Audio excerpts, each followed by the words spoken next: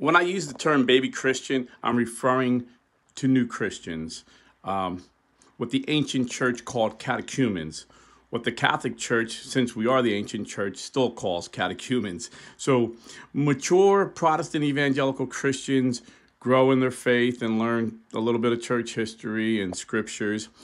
And a lot of what I'm saying does not refer to them. But baby Christians say the silliest things. And one thing I always get in the comments is, oh, the church was never called Catholic. And then I point to uh, St. Ignatius of Antioch, who was a disciple of the Apostle John, who wrote, Wherever the bishop is, let the people be. Just like wherever Jesus Christ is, there is the Catholic Church. 107 AD. God bless and stay Catholic.